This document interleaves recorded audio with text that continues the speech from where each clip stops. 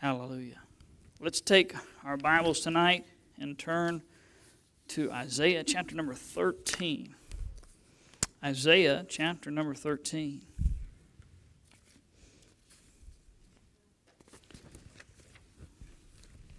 Isaiah chapter number 13 tonight, and just a little bit of an introduction. In this chapter, we enter into a new section of the book of Isaiah. The first uh, 12 chapters, uh, we saw there is a segmentation of the iniquity of these people and the Lord's uh, chastening of their wickedness, but then ultimately the Lord is going to be exalted, and time and time again we see the back and forth between this. Almost one chapter's bad, one chapter's good, one chapter's bad, one chapter's good. Half of a chapter's bad, half a chapter's good, and it's just kind of back and forth. And again, as I've mentioned several times, it can be repetitious, but the Lord has put it down here uh, because we're hard headed.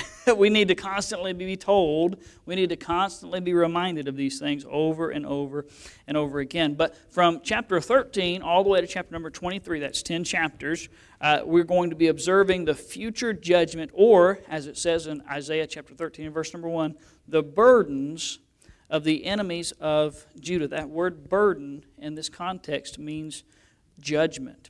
Um, and so that's, that's what's said here. Let's read verse number 1. Isaiah chapter 13 and verse number 1. The burden of Babylon, which Isaiah, the son of Amoz, did see. So this new section of, of Isaiah continues all the way through that chapter number 23, and it contains prophecies about and against other nations. And these are revelations from the Lord through Isaiah about events and judgments to come against the enemies of and around Israel. Now, according to verse number 18, let's understand our context here. Let's read verse number 18. Uh, the Bible says, or excuse me, verse number 19, not 18. The Bible says, And Babylon, the glory of kingdoms, the beauty of the Chaldees, Excellency shall be as when God overthrew Sodom and Gomorrah. Why do I mention verse number 19? Because it gives us an understanding or a definition of that word Babylon in this chapter. It is actually, it's Babylon is its own place, but Babylon is also a euphemism or a synonym for all of the nations that are against God in this particular context. It's kind of like when you say, hey, does anybody have any post it notes? Okay? There's plenty of other brands out there of post it notes. Some people say sticky notes, some people say this. But everybody knows, okay, post it notes mean one thing, but it's representative of all those that may be in similar fashion. So the name Babylon here is mentioned in this context. And, and more than any other city, Babylon seems to be the personification of the forces of the world against God. And, and nowhere in the scripture is it more clear than the place where Babylon finds its roots, which is Babel. Babel. Y'all know what happened at the Tower of Babel? The people of the world were in union. They'd all, they finally come together. They had all decided that they were going to be of one mind and of one accord. It was world peace. But do you know why they had come together for one purpose? Because they were going to be together against God. Okay, so that's why Babylon here is mentioned in this context. Now, another thing to understand is verse number six tells us the timeline of these events. Verse number six, the Bible says, Howl ye, for the day of the Lord is at hand. So, this phrase in verse number six, the day of the Lord, tells us when these things are going to come to pass. In fact, we find this phrase, the day of the Lord, 31 times throughout the Old and the New Testament.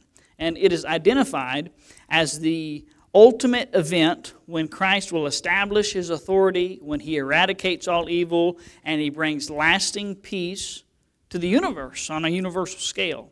And so, this these two contexts, understanding that Babylon is a type of the world and that the timeline of, of events that's taken place is talking about the future judgment that's to come on the earth that's not even here appeared uh, will, will give way to the subsequent interpretation. Now, I will, I will say this. The main view in chapter number 13 is here's a big fancy theological term eschatological.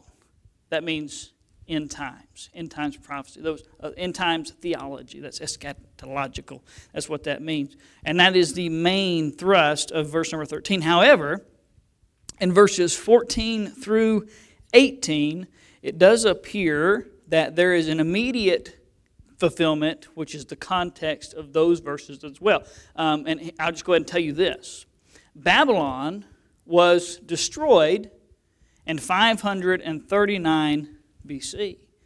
And the people of Judah, which were taken captive by Babylon, were allowed to return. The exiles returned. God overthrew Babylon. So there's this partial fulfillment of what God has said. So there's this intermingling of, uh, yes, mostly future, but some immediate context. And I will give credit where credit is due. If it were just me reading chapter number 13 and I didn't have the resources available to me of other men of God who have studied the scriptures, I would not have seen that on the surface. But thank God for commentaries, amen. So the, the commentators are just commentators, but sometimes they taste really good. Praise the Lord. You can, you can make potato chips out of them. Hallelujah. So, so I'm, I'm, I'm giving you what I was given. Now keep in mind, what is being revealed here in chapter number 13 is judgments against foreign nations that were against God. But these revelations, they were not given to warn those nations. They were not given to, hey, hey, y'all, y'all really shouldn't mess with us because God, that's not why God, they were written down, they were given by Isaiah for God's people for the purpose of reminding them that they ought to continue to trust Him alone and not in other kings or kingdoms or their gods. You know what? They might be looking at this, and, and Isaiah here is telling them that Babylon is going to be destroyed, and Ahaz is still on the throne. He's a wicked, ungodly king, and here's Assyria, and Syria is still coming in. And, and they're like, We didn't even know anything about Babylon. And, and he's saying, Listen, the word of the Lord is right. God keeps what He says. He's not only the covenant keeper, He's the covenant completer. Amen. His name is Jehovah. Hallelujah. I love that. It's so fun uh, searching that out in the scripture. And He wants to remind them hey, listen, God has got your back. God is going to keep you. Don't worry. Listen, I didn't write this down for Babylon's sake to give them a warning. I wrote this down to remind you don't be afraid, don't be scared, don't worry. Even when everything that you can see seems to be contrary to what is said, you just trust in my word. You just trust in what I said. So, so praise God. Here's another reason why we ought to trust the Lord. I love what it says in Isaiah 45 in verse number 22. And I've been doing my best not to quote from Isaiah in places that we haven't already been, but I couldn't help this one.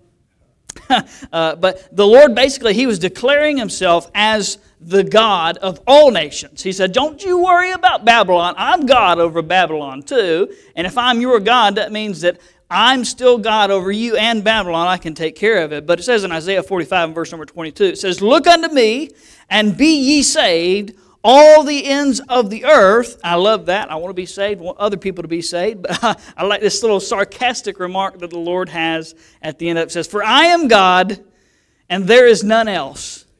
It's almost like the Lord said, Well, I'm looking around. I look to my, my left hand or my right hand, and I look to my left hand, and I, I, I look behind me, I looked above me, I look below me, and I look before me, and yep, I check. I'm the only God. Hallelujah. Amen. And He's my God. So the Bible says in chapter 13 and verse number 1 the burden of Babylon, which Isaiah, the son of Amoz, did see. Now we're going slow at first. We, kick, we, we always pick up um, um, some motion towards the end, but I, I do want to point this out to you. Isaiah, as we understand, is whether he's, we're speaking about the immediate fulfillment, which is in 5 uh, 39, which is like 200 years after Isaiah dies, or we're talking about the, the future fulfillment, which will be at the end of time where Jesus sets up his millennial kingdom. Either way, Isaiah wasn't going to see this thing come to pass. And, and so the Bible tells us that he has this vision. And you say, well, how, how was Isaiah able to see? How, how could he possibly have known these? Well, obviously, Isaiah was supernaturally given the understanding of what was to come.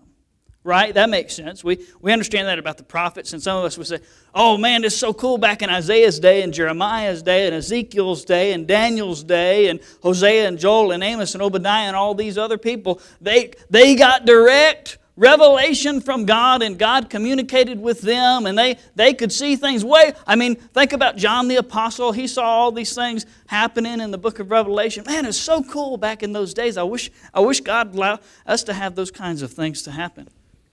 And you know what? He does. The Lord, now, don't be nervous. Just listen all the way, okay? We're not going charismatic tonight, all right?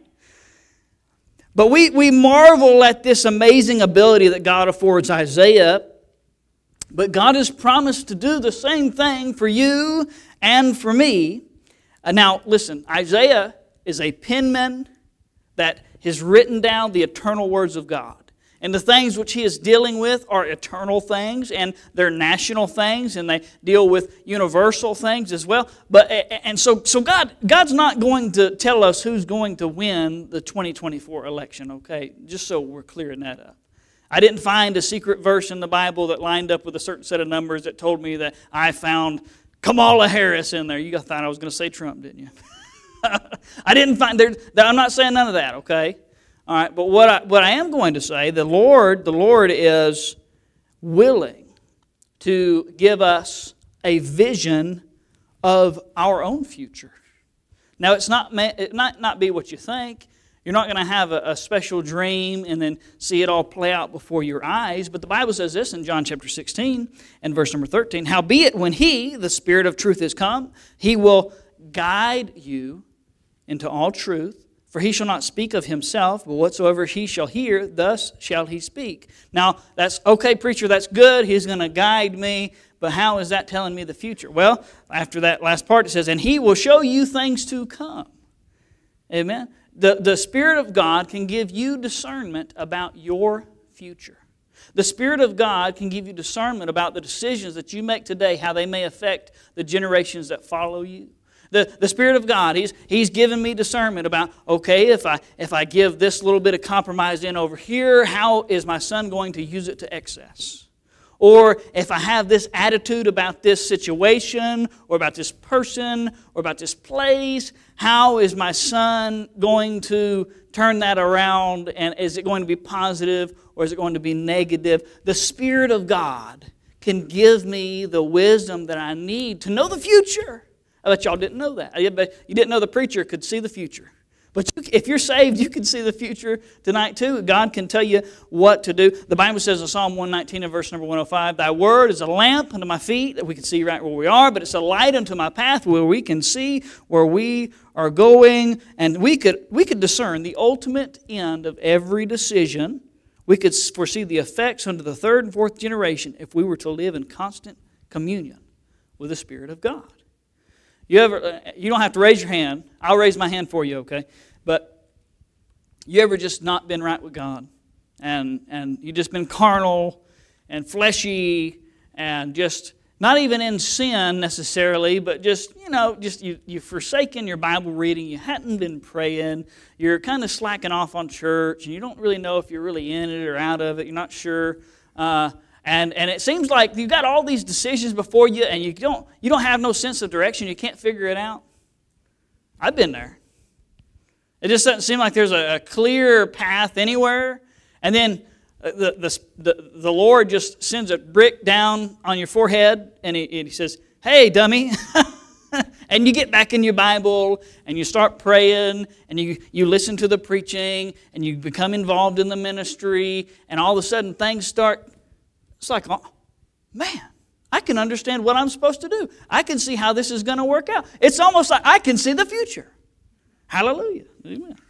All right, chapter 13, verse number 2, the Bible says, Lift ye up a banner upon the high mountain, exalt the voice unto them, shake the hand that they may go into the gates of the nobles. Now, let me preface this. Let me just be transparent with you tonight it appears that this verse is just a little ambiguous concerning who it is that's lifting up the banner. Okay, I'm, going to submit to you that truth. So I, I willingly acknowledge to you tonight that my comprehension of this verse could very well be inaccurate. Not, not incorrect, but inaccurate. Um, However, I believe that I'm right. so, of course, I believe I'm right, right?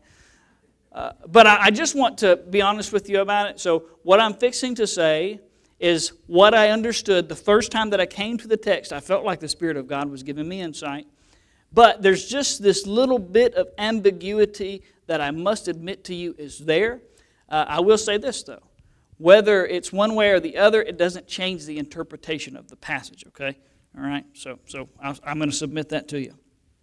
Verse number one Isaiah is given the burden of Babylon. He's seeing the judgment to come. And I believe, verse number two, is speaking specifically to those people that the, the vision was about, those of Babylon. There's, that's my logic, okay?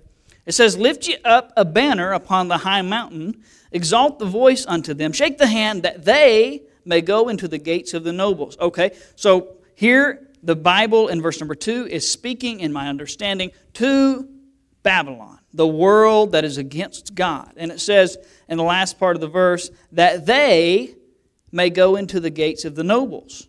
Okay? I believe that that they in the last part is speaking to the Lord's host. So that's, that's where I'm coming from. That's how I understand this passage. And if you don't agree with me, that's fine. Uh, and I wouldn't even say that you'll be wrong if you don't agree with me, but that's how I'm preaching it tonight, okay? Uh, verse number two says, Lift ye up the banner upon the high mountain, exalt the voice unto them, shake the hand that they may go into the gates of the nobles. Here, I believe that Isaiah is describing the wickedness of the world system as a formal invitation for God's judgment. That is what I believe is taking place. Here, Babylon is under the judgment of God as the vision of Isaiah clarifies, and the Lord is almost saying, Everything that you're doing, all your sin, all your iniquity, you might as well just be uh, setting up a banner that says, Welcome for, to the judgment of God. You might as well uh, be on the highest precipice of the mountain range around you, saying, Hey, we're right here. You might as well be shaking the hand. Y'all just come in, y'all. It'll be great. It'll be awesome. And, and that they may go into the gates of the nobles. And, and it's almost as if this place, this Babylon, if you will, is it, it, it's just yielding to their enemies the most secure and intimate details of their national security. Okay? And, and that's, that's how I'm understanding this passage. These people, they're sinning against God. They are, are going in contradiction to his will. And so, you know what they're doing? They're, they're just kind of, they're asking for judgment. They're just asking for it. They're just, they're just as if they're putting up a big welcome mat for the judgment of God. Just come on in and, and, and take us over. And that's, that's, that's my comprehension of verse number two. And here's some practical application of that. When we sin against God, it is if it is as if we are inviting punishment. We're opening ourselves up for a bad time. So, verse number two, I gave you that explanation. Verse number three, I believe, is speaking of the Lord's host, his army here, verse number three. I have commanded my sanctified ones. I have also called my mighty ones for mine anger, even them that rejoice in my highness. You know what's taking place? The Lord said there's going to be judgment put upon this place. These people are asking for it. They're so wicked. And He said, I'm assembling an army. And I'm going to put together and fortify a people to take you out.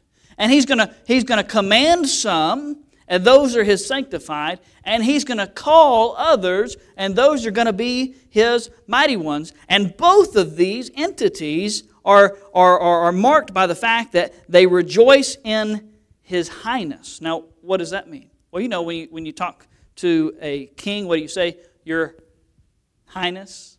Amen. So they're, they're submitting and they're rejoicing in the fact that God is their king over them. So I deduce in verse number three, it's talking about saved people, but these saved people are segmented into two different portions. There is the sanctified, and there is the mighty ones. There is the commanded, and there is the called. And I believe what is shown here before us in verse number three is a, a, a, an allusion to the spiritual maturity of Christians. And, and you know what? God has sanctified us when we are saved. We're, we're set apart from the world. We're removed from the punishment and the penalty of sin. Hallelujah. We are the sons of God. We've been adopted by the Father. We are sanctified. We're set apart. But you know, when, the, when, when you get saved, the Bible says in 1 Corinthians chapter number 3, you're a baby. You're a baby. And uh, babies have to drink milk. I found that out. My goodness, they keep you up all night. Um, and then when they get old enough to start eating food, you still got to command them, don't you? You've got to. They're weak, and they they don't do things of their own volition. You've got to tell them what to do. Right? Clean your room. Eat all of your food. I mean, for goodness sake, son, it's a waffle with syrup on it. Who doesn't want to eat that? Why would I have to take time to tell you? But still, uh, command, command, command, command. Do it. Do it. I'm going to have to tell you again and again and again. And the Lord, you know, when He's dealing with us, a lot of times, we're His sanctified ones. We are His. But we do a lot of things that we do out of obligation. Amen? Instead of appreciation. And, and so we've got this group here. They're, they're just as saved as anybody else, but maybe they're a little immature in their walk with God. Nevertheless, they're going to be a part of it. They're glad that Jesus is their king. But then you've got the mighty ones. The mighty ones, the ones who can eat the strong meat. They've got teeth, they've got a steak knife, they've got A1 sauce, and they're going to eat that whole thing. It's going to be medium well, not medium rare, that's gross. It's going to be medium well and they can eat that thing up. And you know what? The Lord, the Lord doesn't have to command them. They love the Lord. And, and, and they've come to understand how much God has done for them. And you know what they're doing? They're just like Isaiah. They're sitting there and they are waiting. Lord, here am I. Send me. All you got to do, God, all you got to do is call me and I will go. Lord, do you want me to go to Guyana? Lord, do you want me to go to Eastern Europe? Lord, do you want me to go to the North Pole if there's anybody up there that's not saved? God, I'll go up there. Amen. Whatever you want me to do. So you've got the sanctified and you've got the mighty ones, and I believe you've got a group of saved individuals here that God is commanding some and calling others to go and fulfill His will. Okay, that's, that's, my premise. Verse number two these people are in rebellion against God and they're asking for a bad time. Verse number three God's people are being assembled together as, the, Lord, as a, the host of the Lord, and some of them are a little bit more mature than the others. And here's, here's another point of practical application for you tonight. Are you called or are you commanded? How does God have to deal with you? Verse number four. Verse number four. The Bible says, The noise of a multitude in the mountains like as of a great people, a tumultuous noise of the kingdoms of nations gathered together. So I, I, believe we've got some back and forth going here. Verse number two talks about that, that Babylon. Verse number three talks about God's people. Verse number four, I believe, is mentioning again in the first part of the verse Babylon. And, here you see just a, a, a conglomerate of individuals, of people of all nations coming together on the high mountains, and they're doing what people do that live in a society. They're eating, and they're drinking, and they're giving in marriage. They're eating, they're drinking, they're giving in marriage. They're just going about their normal daily tasks society is going forward as it normally does, and it doesn't seem that there's any real concern or conviction about the Lord or, or what His plans are. And it says that these things that are going on in this society is just a, a tumultuous noise of the kingdoms of the nations gathered together. The world is just going around and around and around she goes. And I'm reminded of what is said in Matthew chapter number 24. The Bible says this For as the days that were before the flood, they were eating and drinking and marrying and giving in marriage until the day that Noah entered into the ark and knew not until the flood came and took them all away. So shall also the coming of the Son of Man be. You know what's happening here? Jesus is coming. Chapter number 13 is telling us that Jesus is coming. And these things, their, their life's just going on normal. And look what's taking place behind the scenes. These people are completely oblivious through their ruins while God assembles his ranks. Look at verse number four, the last part after the colon. The Lord of hosts mustereth the host of the battle. I'm not talking about that green bottle, not mustard. Mustereth. You know what he's doing? He's assembling his saints together. He's placing them in rank and file. He's preparing them for the day of judgment. All this is going on while the world spins round and is headed right to hell. That sounds kind of like you and I, doesn't it? Where God is conforming us to the image of Jesus Christ, and we know that there's a day of great judgment that's going to come upon all the earth, and it appears as if the world is oblivious to this fact, and God is trying to set us up for this coming judgment, and all the while the people around us seem like they have no idea what's coming. Verse number five. Verse number five. The Bible says, They, speaking again still of God's people, come from a far country, from the end of heaven. I believe this is speaking literally here. You know, Abraham looked for a country and a city whose builder, is maker, is God. we the, Jesus said, I go to prepare a place for you, and if it were not so, I would not have told you. In my Father's house are many mansions. I go to prepare a place for you. Where's that? that that's, in, that's in heaven. It's way far. We're just pilgrims passing through. Uh, I'm looking forward to that far country. I'm looking for that heavenly home that's bright and fair. I feel like traveling on, but there's going to be a day where we travel back.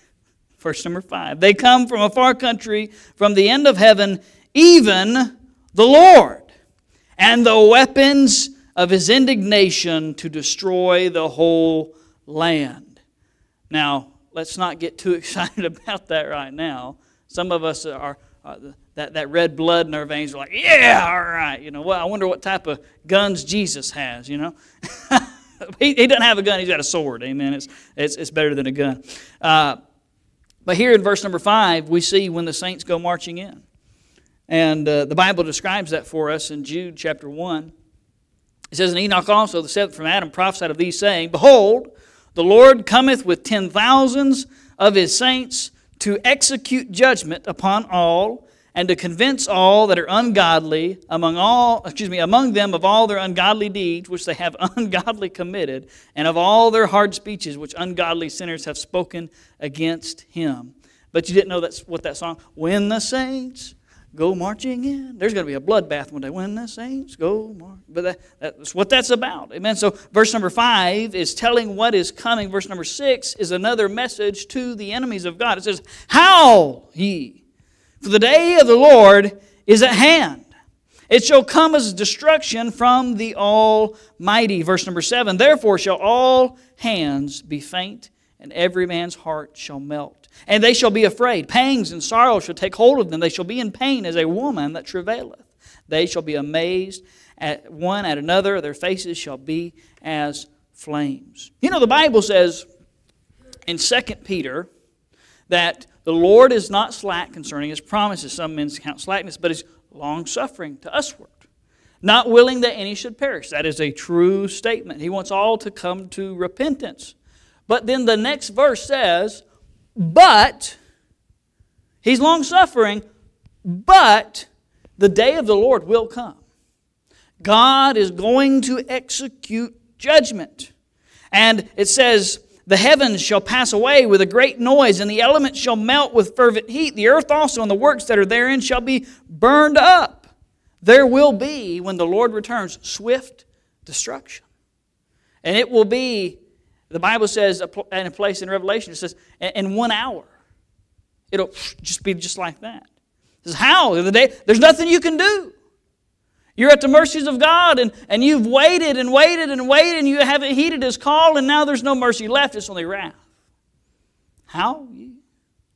Verse number 8 mentions the, the level of pain. And, and ladies, I think you'll appreciate this here. Uh, the Lord is here trying to describe the worst pain that a person could possibly face. And he mentions the travail that a woman has while she's giving birth. And that there's no pain which could be possibly uh, even more, that could, could come close to that kind of pain. And he uses that illustration here. Uh, and, you know, it's, it's even worse, I've heard, than the man flu.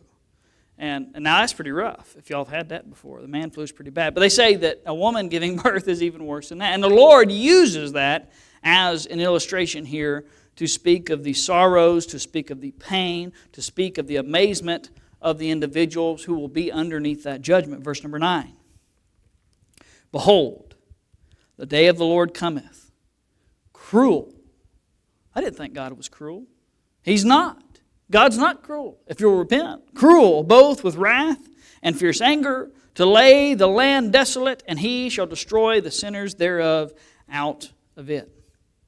You know what? In this day of judgment, those that are in opposition to God, the Lord will have no mercy. He will pull no punches. You know what? For those that remain unrepentant, they will be destroyed.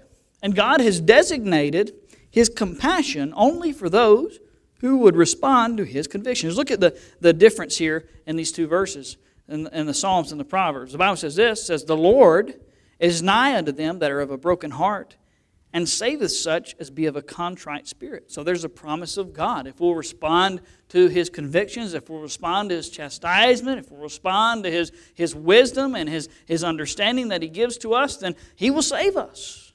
But verse number 29 and verse number 1, or chapter 29, verse number 1 of Proverbs says this He that being often reproved hardeneth his neck shall suddenly be destroyed, and that without remedy. When the Lord comes back in this day, you better howl, because there'll be no rescue.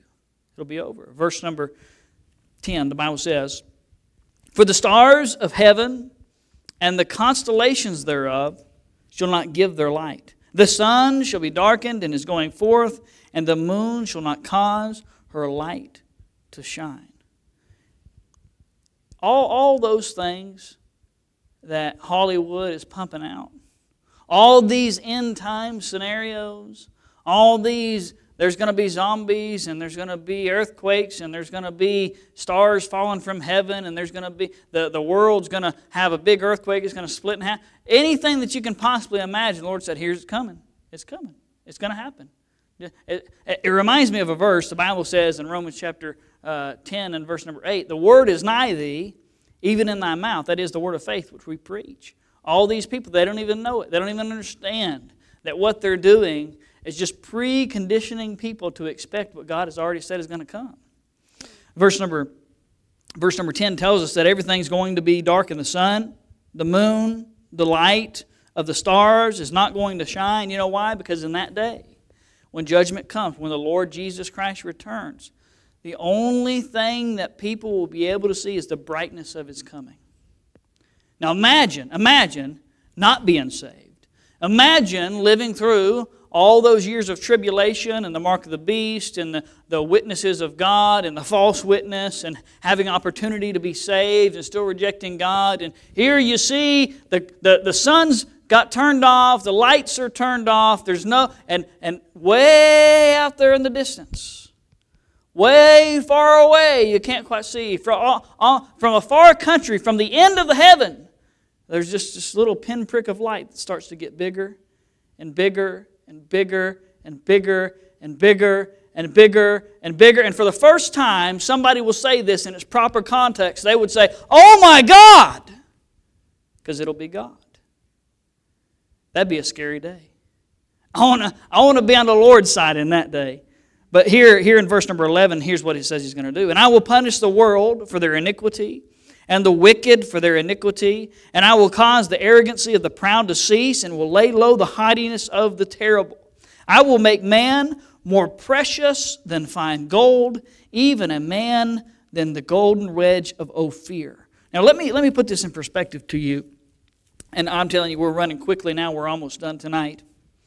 But all the gold that has ever been discovered to, to this date, if, if it was put together, it would fit into a cube of 75 feet by 75 feet by 75 feet. That's a bunch of gold. I mean, you literally could not fit that cube inside of this sanctuary. That's a big bunch of gold. Wow, that is impressive. But 75 feet by 75 feet by 75 feet it's not as impressive when you compare it to the volume of the earth. Now, this is an estimate because I, I, didn't have a scale big enough to go out and weigh the earth. Um, but the, the, the, the guesstimate is the volume of the earth, if we were to put it into a cube, it would be 941 trillion feet by 941 trillion feet by 941 trillion feet. Now, if you've got a 75 foot by 75 foot by 75 foot cube put up next to the volume of the earth, it's not very significant, is it? And it would be like a speck of sand on the beach. And the Lord says, When I come back and I destroy all these miserable sinners, men are going to be so scarce, they'll be more scarce than gold is in the dirt. It's going to be a bad day. It's going to be a bad day for all those who oppose the Lord. Verse number 13. Therefore, I will shake the heavens, and the earth shall remove out of her place in the wrath of the Lord of hosts and in the day of his fierce anger. I want you to turn real quickly with me to Revelation chapter number 6 and just see how this is expanded on it. It's, it's the same context, it's the same material, but there's new revelation given literally in the book of Revelation. Uh, Revelation chapter 6 and verse number 12. Revelation chapter 6 and verse number 12. The Bible says, And I beheld when he had opened the sixth seal, and lo, there was a great earthquake, and the sun became black as sackcloth of hair, and the moon became as blood. And the stars of heaven fell, uh, fell unto the earth, even as a fig tree casteth her untimely figs when she is shaken of a mighty wind. And the heaven departed as a scroll when it is rolled together, and every mountain and island were moved out of their places. This is terrifying. I mean, could you imagine? The heaven, I mean, this is the most amazing thing. The heaven departed as a scroll. Verse number 15. And the kings of the earth, and the great men, and the rich men, and the chief captains, and the mighty men, and every bondman, and every free man hid themselves in the dens and of the rocks of the mountains, and said to the mountains and the rocks, Fall on us, and hide us from the face of him that sitteth on the throne, and from the wrath of the Lamb, for the great day of his wrath is come. And who shall be able to stand? Who shall be able to stand? I'm thankful I'll be able to stand in that day. He's able to keep me from falling. Verse number 14. Now, this, this portion of Scripture here is the context is the immediate fulfillment in the days of 539 BC when Babylon was put uh, or, or, or over, overthrown um, in those days. So let's read those things in their proper context. Verse number 14.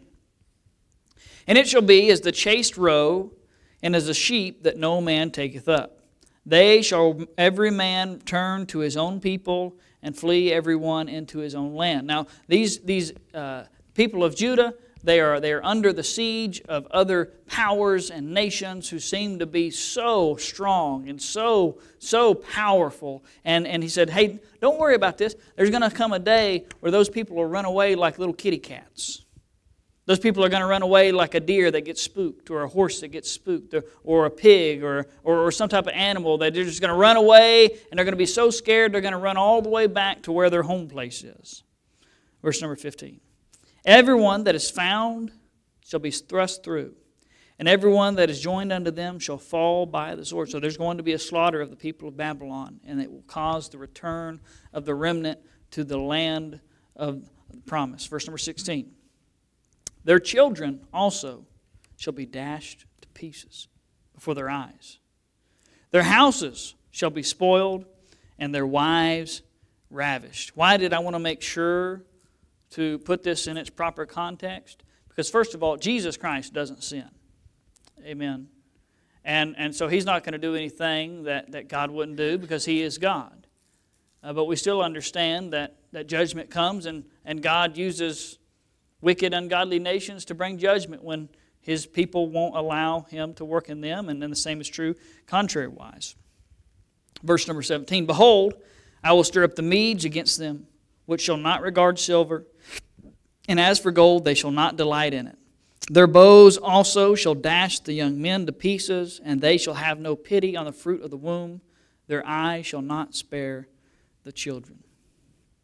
Now, maybe you're thinking in your mind, how could God allow such an awful thing to happen to these poor, innocent children? And, and mind you, if they are children, they are poor and they are innocent. Absolutely, there's no, there's no doubt about it. But instead of asking that question, I'm going to ask a different one. How cruel is it to reject God and subject your children to his wrath because of your unbelief? I think we ought to be thinking along those lines. Amen. Amen. Verse number 19, the Bible says, In Babylon, the glory of kingdoms, the beauty of the Chaldees, excellency shall be when God overthrows Sodom and Gomorrah. It shall never be inhabited, neither shall it be dwelt in from generation to generation. Neither shall the Arabian pitch, pitch tent there, neither shall the shepherds make their fold there. But wild beasts of the desert shall lie there, and their houses shall be full of doleful creatures, and owls shall dwell there, and satyrs shall dance there. Oh, what's that? I looked it up, and, and every commentator either said it's, it's either a goat or a monkey. So your pick a goat or a monkey, whichever one you think it might be. The Bible is telling us here God, God is going to bring swift judgment on this place who is against him. And in, in the final judgment against Babylon, it will be so complete that the land will forever be desolate, and the only thing that will dwell in the land is animals. Verse number 22. And the wild beasts of the islands shall cry in their desolate houses, and dragons in their pleasant places, palaces, and her time is near to come, and her days shall not be prolonged. Two things, and we'll be finished tonight. The time is near to come. And Isaiah was written about 700 years before Christ came. And it's been 2,000 years approximately since Christ rose again from the dead. And let me remind you that the Bible says a day with the Lord is a thousand years, and a thousand years is as one day. And so, therefore, time is relative to God. God just operates on his own schedule. Amen. You know why? Because he's God. But what we un- understand is that when he says near to come, what does that mean? Imminent. Could happen at any moment. And when he, when he does come, it shall not be prolonged. When it's time, it's time. There's not going to be any begging, there won't be any pleading, no request will be taken to allow for another chance. God has given space to repent, and if it is not taken, he will destroy. Now, how much more does that put a, a, a necessity on us to minister the gospel of truth? How much more does that make it imperative for us to live a life that's pleasing in His sight? Because when He comes, he comes. When, when He's here, He's here.